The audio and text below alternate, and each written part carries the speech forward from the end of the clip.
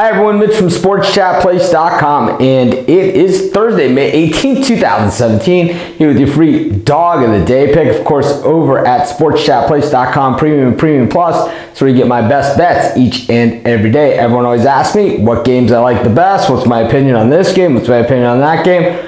All I got to say, my best bets are in the premium area. And of course, if you, uh, if, if the reason why the premium area is the least expensive way to get my best bets is because it's a longer term commitment. Weekly, monthly, and yearly subscription packages course, if you're not into the longer term commitment, you'd rather have daily picks, daily packages, or even picks from some of the other top handicappers in the world today, maybe even our world famous consensus report. You can find all that stuff over at sportschatexperts.com, where I also do another video pick called Mitch's Expert Opinion video pick, where I give out another game and uh, doesn't have to be an underdog, gives me a lot more to choose from, especially on days with light schedules like today. But uh, in any event, uh, I go live on Facebook Live. Make sure to follow our Facebook group, Sports Chat Place.